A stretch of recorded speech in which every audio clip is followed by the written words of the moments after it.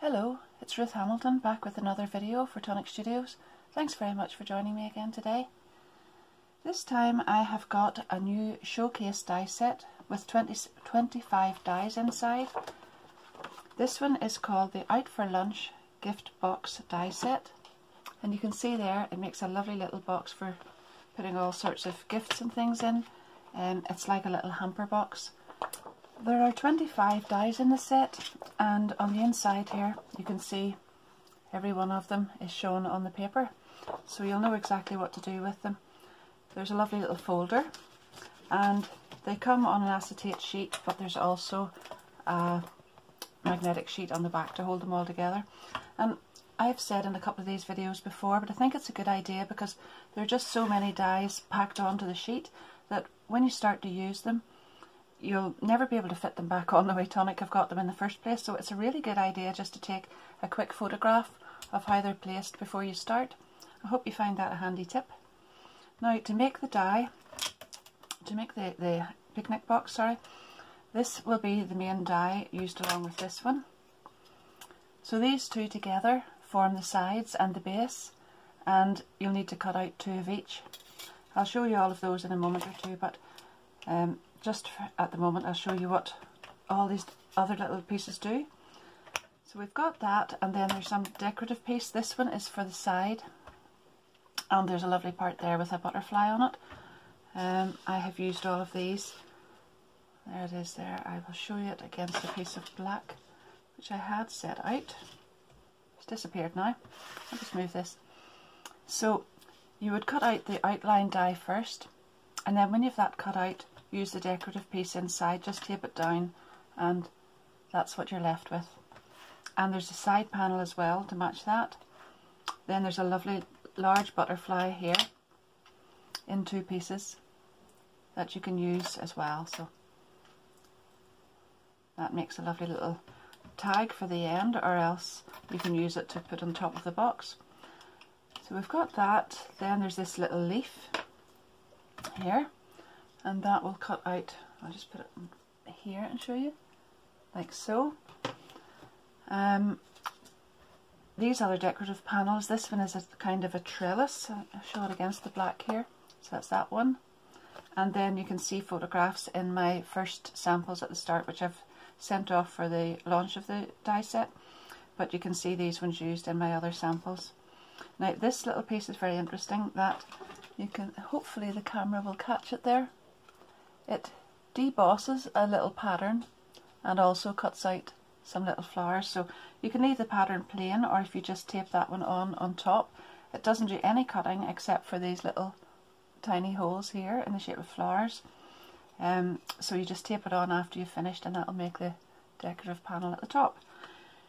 Uh, so that I think, these little circles, sorry I'll show you, have, here we have them, there's a plain one and then one which says love and a few other little pieces.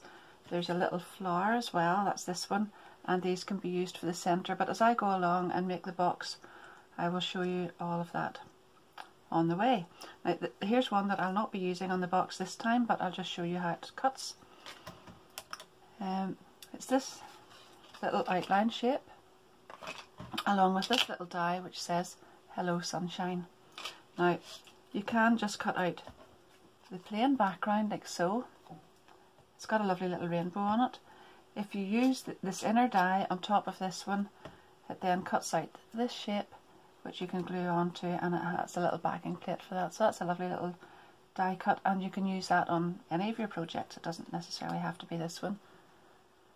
So I have all of my bits and pieces cut out. I will just tidy this set away and I will show you how to make it up. For my little sample box today I have chosen the fuchsia pink and jet black in the Craft Perfect texture weave card and then I've also added a little bit of the Snowdrop Meadow in the speciality paper. So I like these colours because there's a nice contrast and you can see the, the lovely pattern through. So there you are. I have two each of these pieces cut out and two of these as well and I have used the little pattern die up on the top there I've also gone ahead and creased these. The debossed lines are already on them so it's just a matter of reinforcing all those score lines and having them ready to roll. So I've also gone ahead and added some double-sided red liner tape along here. Now that um, gives a real good firm grip but you could also use some deluxe adhesive glue or whatever you like on it. Um, if you think you like a little bit more manoeuvrability while you're working with it, maybe a wet glue would suit you better, but um, just for the purposes of the video I'll be using the red tape. However, I do sometimes use either. So the box is actually really easily put together. Um, so it doesn't really matter too much about whether you want to add your detail or your decoration on before or after. But I just think while all these pieces are lying nice and flat like this, it's easier just to go ahead and add all this detail. So um, I tend to just do all of this first of all. And there we are, that's where it is all going. Um, the right way up, of course, I think I've got that back side foremost, but there we are. So I will go ahead and glue all these pieces on and then I'll assemble the little box afterwards and I'll just speed the video up as I go ahead with this glue.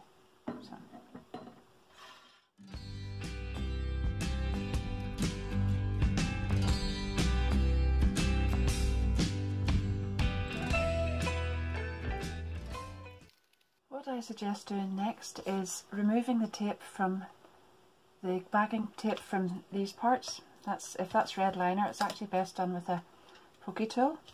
And then I'll do it on this part as well, just and we'll do the two together. Just catch it there with the pokey tool and remove it. And then lay this flat and butt this side up against that so you've got that perfectly straight.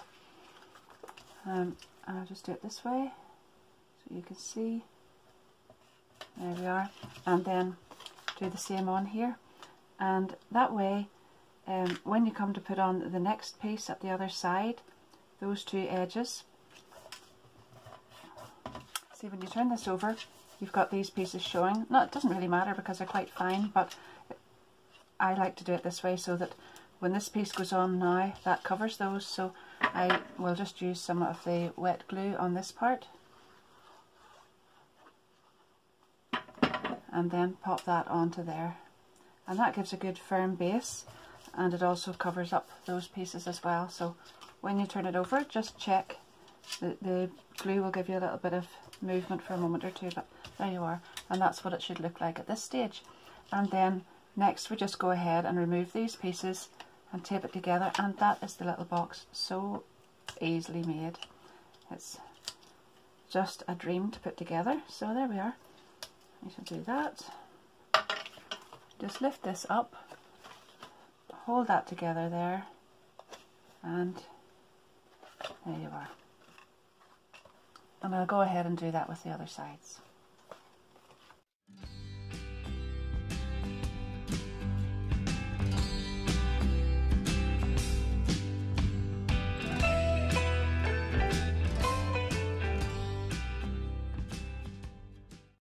Now all you need to do is fold these pieces in and these hold these together, push them in there and they come out the side at the bottom and do the same here.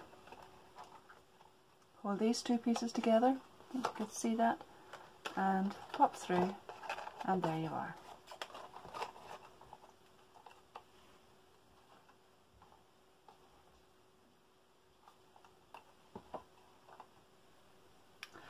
To decorate the top panels of my little box I have taken some of the speciality paper and I have cut out two lovely butterflies with this die. Um, and one little tip if you're using the speciality paper it's better just to place the die and cut out just enough that you need to cut it out with because if you leave the full page on the full piece of paper um, the plates of your die cutting machine will probably flatten this piece and then you'll not see all that lovely texture. So just to keep it good for another time, you can just cut off as, as much as you need, use that and then you're good to go with the rest of it. So I've done the same with these little circles for the insides of the flowers as well. I have used the two dies together and made two lovely pink butterflies and what I'm going to do is then just fold up on either side of the body there and add some glue along the, the body and up here on the anthers. And I'm just going to pop that on there on the butterflies. And I usually just take this little thing here, this little folder, bone folder, hold that down for a minute or two until that gives you a lovely dimensional butterfly. And I'll attach that to the top, just put some glue on here and attach that to the top of my box. And I'll do the same with that one. Then I have cut out two flowers because I'm going to make a little tag. So there's one, there's a little pinhole in it here to put some twine through and then I have done the other one and just another quick tip here is um, obviously you would mo more than likely be embossing with your embossing mat but if it's for something small like this and you don't want to get the mat out and start to run it through again I just take an embossing tool like this and go quickly around it. You can feel the edges just around the, the um, outside there. It's quite easy to follow. You just put the embossing tool in and you can follow the edge and then you'll get a lovely crisp emboss. You can see it there, hopefully. So I have got two lovely flowers there. You probably think you only need one, but I like to just have the back of it covered as well. So what I'm going to do is glue these white pieces on to the centre. I think that textured piece matches the butterfly nicely and it also gives a nice bit of dimension to the centre of the flower. So there we are again. Put that one on there. Then I have cut out the two leaves in black. Uh, I'm just going to just move that over slightly. I'll probably just snip a couple of bits off there. Um, and the same with this one. Uh, just about there. And then I'll glue these inside. This keeps it all nice and tidy. So let's say that's the back and we'll just pop that in there. So you've just got a little bit of leaf coming out there. Now remember this is the back so that's why the flower is going that direction. Um, and then there we are and we'll just do the same there.